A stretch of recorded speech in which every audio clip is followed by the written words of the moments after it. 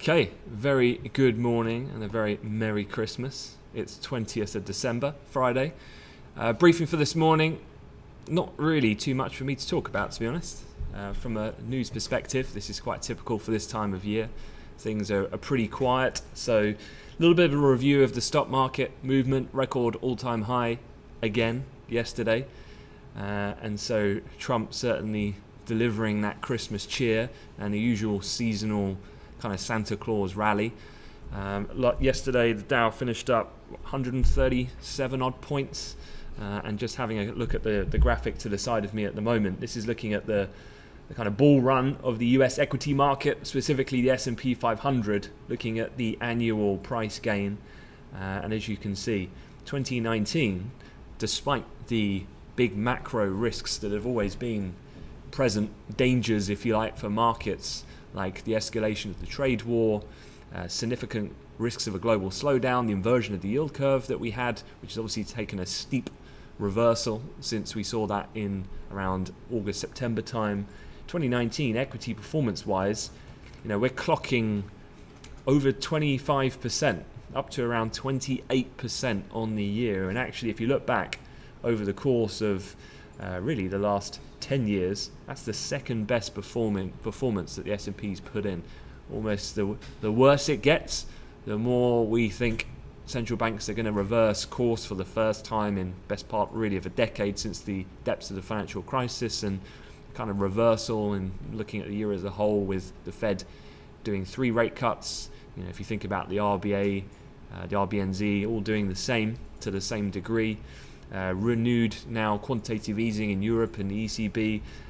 And of course, Trump looking to get this last minute phase one deal over the line, getting a, a good seasonal timing, of course, uh, for a stock market rally into year end. So, yeah, I just wanted to, to put it into a bit of context. Obviously, a, a stark difference from where we were this time last year. If you remember, December was an absolute bloodbath, epitomized by literally Christmas and Boxing Day, I think, is when we hit that inevitable low, uh, which then was counteracted, obviously, by the biggest rally we've had in the best part of three decades at the beginning of 2019. So, yeah, so different from this time last year. Uh, but looking at the charts this morning, as I said, at the moment things pretty quiet. I mean, if I look at the S&P 500, it's just come off a touch and uh, pretty sideways during the Asia Pacific session. This is the center right chart and don't really think it's too surprising given the rally and push higher that we had yesterday. Uh, and so, you know, global index futures pretty flat overall. The DAX basically unchanged. Uh, also, same in the Euro Stoxx, despite a little bit of fluctuation as per normal at the at the cash open a short while ago. Gold pretty sideways, just hugging pivot, similar to the US 10 year. Both are down slightly, uh, just given some of the, the general correlations with the equity market being relatively firm at these levels.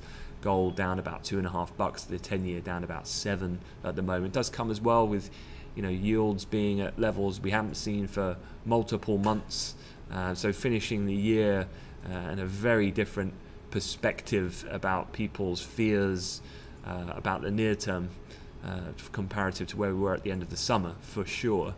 Uh, but with that I'm not going to talk too much broad brush, brush about the outlook because Piers and I, Piers, uh, if anyone doesn't know, is our Amplify's head of trading. Uh, he and I are going to do our outlook for 2020 at 3 p.m. London time this afternoon. Uh, we, we, will record that session as well and make it available thereafter. But we're going to talk probably for about 45 minutes or so over some of the key themes like the outcome for Brexit and its implications of the pound? Can we sustain a continued move higher in US equities? Can OPEC continue to underline support for crude oil prices with their production cuts? Uh, and can the ECB and new President Christine Lagarde uh, mitigate the ongoing downturn being experienced in the Eurozone? So they're the four factors we're going to discuss, and I'm going to put Piers on the spot, get some year end calls, uh, and what he thinks the catalyst will be and the real pivot points of, of, of macro and price action uh, over next year. So, so that'll be later on this afternoon. But as I said, overall this morning, things uh, fairly muted. Thing that has been obviously in the press, Boris Johnson Uh, just going into the Christmas period, he's obviously trying to rush everything through in order to wrap Brexit up for Christmas, is what he said yesterday. Uh, almost like a Trumpism, if you like. And he, well, the process he needs to go through is the bill, his Brexit bill, which we know has been kind of strengthened on uh, the kind of the, the idea of non agreement to transition for an extended period, looking to put a bit of pressure on from the negotiation with getting a European deal sooner the better. Uh, but this obviously creeps in then a renewed risk of a, of a no deal Brexit, and, and that's what we've been seeing influencing the, the British pound.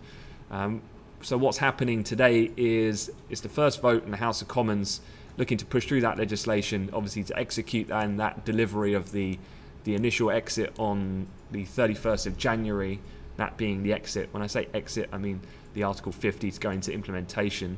Uh, the vote is going to happen around 2:30 uh, London time this afternoon, but likely to be uh, a formality of sorts, given now the 80 majority that he's managed to capture from the, the recent UK election. Uh, the legislation then will be set to go through various stages of progress. That uh, the way the UK system works, uh, that's going to recommence then in January on the 7th, 8th, and 9th.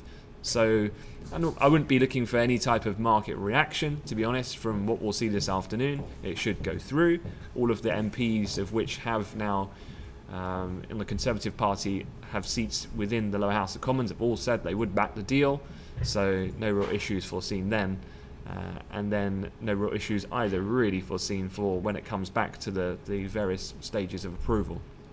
The real problems, if he's going to encounter, happen thereafter, of course. Um, now, just having a look quickly at the sterling chart here. Let me put it back on a on a 60 minute candlestick. Just wanted to bring in some of the price action that we've had, of course. Um, this time last week, I was quite tired because we'd been up all night uh, delivering the UK election, of course, and and yeah, we're, we are lower now than where we were before the the gap up, obviously on the back of the the Tory majority. So all of that and some has been taken back, uh, and we trade really now a well, around 130.50. Uh, so a decent kind of four and a half points off where we were on those initial peak that was seen when some of those northern heartlands uh, for Labour turned blue, uh, and we hit that kind of 135.50. So yeah, best point of best part of about five point move there that we've had in sterling. On a bigger picture, um, this is just looking at cable on a much bigger time frame. Um, and looking at some of the, well, if I put it like that first to give you a bit of context, this is the trend line uh, from 2014, 2018, 20, uh, and and what we've had in 2019 with the uh, the gap up and break through then of what was the the election. We've come back down to that trend line. Came up and tested it uh, only a few days ago before then coming back down to a fairly significant, at least near-term level of um, support. So whether or not the price has the appetite at this time of year to really break through that or not is really yet to be seen. But you can see that was the the area of resistance in mid-October. Uh, but any move further down, there's a couple of interesting points probably to keep an eye on. That double top that was really the 18th of November, so a month on from that area of resistance and support that we're trading at at the moment. Uh, that's really the 130 handle as well. Uh, and then that opens up a, a slightly more deeper move if that were to happen which would be a push down to around 128.33. So obviously this isn't going to happen today, or in fact probably for the rest of 2019. But this is if this uh, situation continues to develop as it has been. We had things like UK retail sales, of course, yesterday, which was particularly disappointing. Um, so as the economic slowdown continues, in addition, really until we get to February, March, when then it's like you know, we revisit the situation. Has he got a deal or not? And what are the prospects of that happening? Uh, he's probably going to remain steadfast for as long as he can to keep that narrative ticking along. And the more that happens, and the lack of progression that I'm anticipating will happen, the more downside pressure we're going to get. and the more we move back down again. Uh, and these would be the subsequent targets then thereafter 128.33, then 126.30, uh, and so on until the inevitable extension comes, uh, which I'm still think is going to happen. Uh, the other thing over that time period, of course, um, that you're going to have to be aware of is Mark Carney. Obviously, Boris has 31st of Jan very much as his date to deliver, as he would call it, delivering Brexit. Um, and Mark Carney leaves, and obviously this is quite a, a, significant change because he's he's rolled over his term multiple times, and so uh, you know markets like continuity. And would he or his departure spell any type of danger for markets? But the answer to that is probably not, because the FT have leaked it, uh, and it seems that this is just going to be ratified later on today, probably by either the Chancellor or the Treasury normally. Uh, but Andrew Bailey, this chap here on my screen, uh, the head of the Financial Conduct Authority, has been selected as the new governor of the Bank of England, according to the Financial Times last night. Um, now, couple things here. Um, Mr. Bailey does have a little bit of a sketchy past in terms of his performance related to a series of financial scandals in recent years and questions about the effectiveness of the FCA and his oversight. However, he is also a former deputy governor of the Bank of England, so he's definitely equipped in a sense of he knows the routine. Uh, market um, practitioners are very familiar with him, uh, and you know he's even though he's had, let's say, uh, a number of mistakes in terms of his time at the FCA. Um, he's now leaving that, and now he's focusing on monetary policy. And when he was a deputy governor, I can't remember uh, in my mind or recall any time where he said anything out of turn, made any particular large mistakes uh, when he was acting as a deputy. So, as far as I would see his appointment, I'd say this is kind of the the conservative pick. There was obviously a lot of pressure on the Bank of England to potentially pick a woman for the first time in its entire history, which goes back multiple hundreds of years.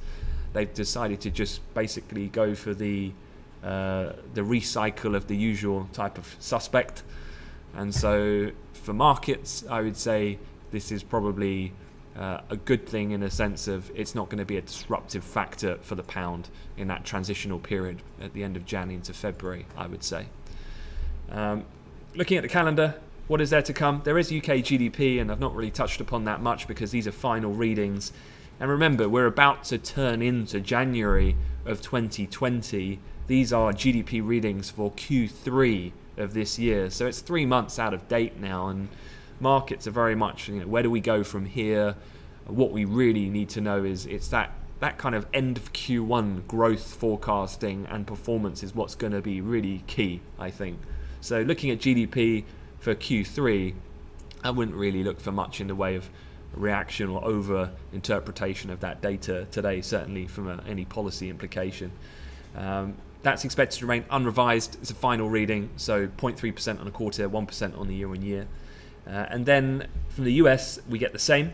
US GDP uh, expected to be unrevised at 2.1%. So you remember a little bit of an upside surprise in the preliminary figure, keeping US growth fairly constant around that 2% level. Surprisingly, a little string of stronger than expected economic surprises from the data sets that we've had from America uh, of late, epitomized by non-farm payrolls, has managed to secure then a, a, fairly decent performance for, for growth, despite people getting very pessimistic about uh, growth conditions there.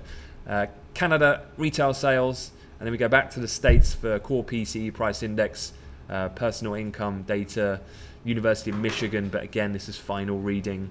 Uh, the consumer confidence coming out of the Eurozone is really a non-market moving event. Not sure why that would be bolded, to be quite frank.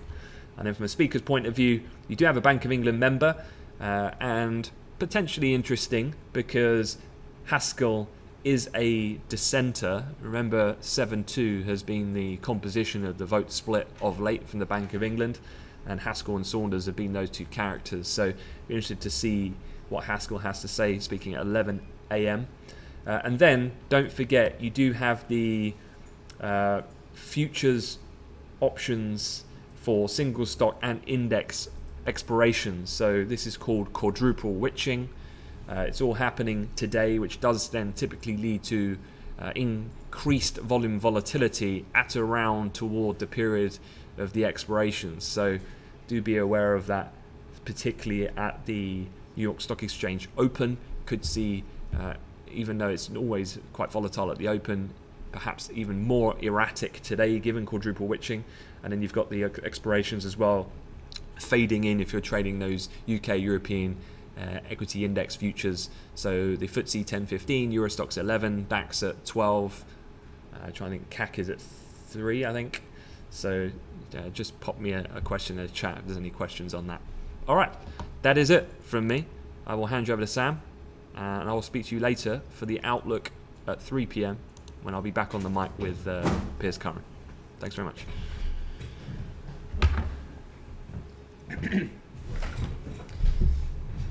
thank you, Santa. Um, delivered the rally as usual in Christmas and S&P, Dow Jones, Nasdaq making all-time highs again last night. 32. What did we get to around the top there?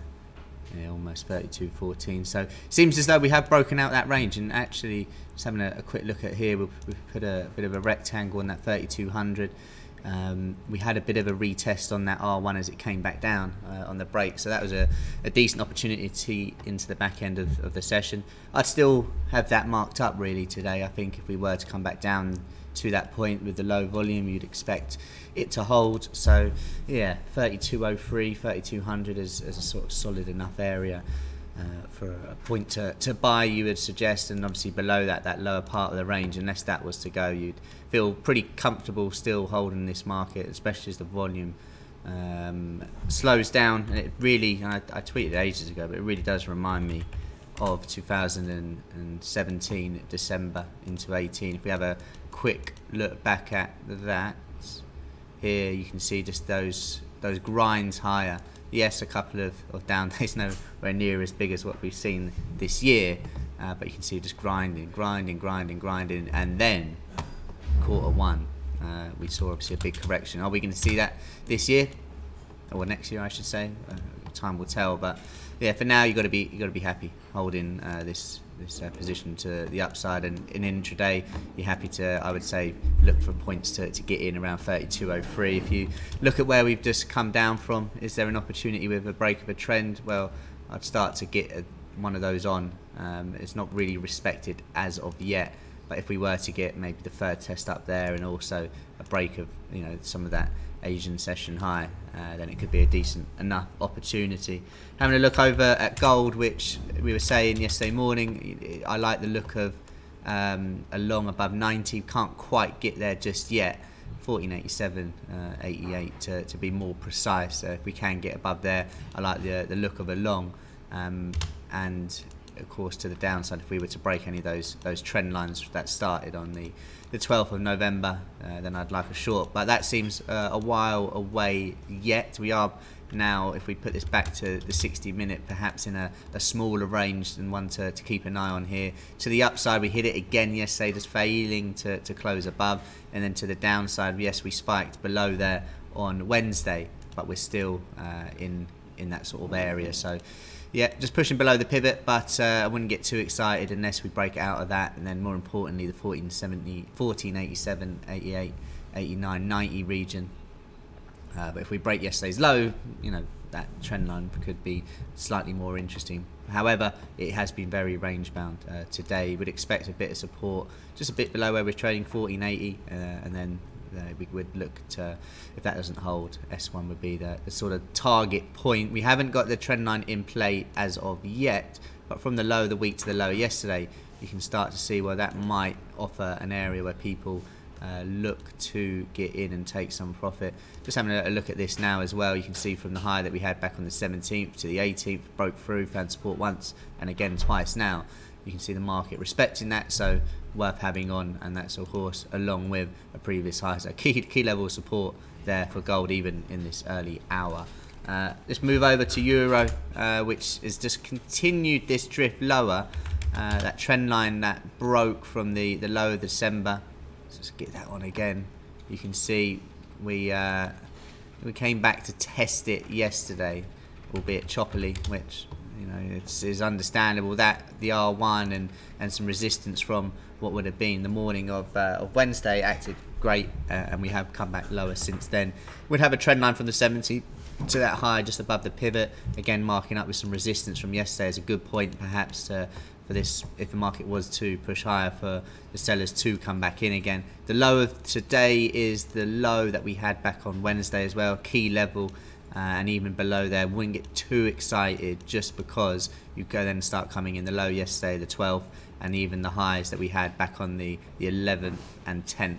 So quite a lot of support. Do we close the week below there? That would be key, and I would then expect a, a further week uh, to the downside. But for now, really key point uh, of support. You can just see, make sure it's above the camera here, going back from the 10th of the month to, to where we are now. Solid base.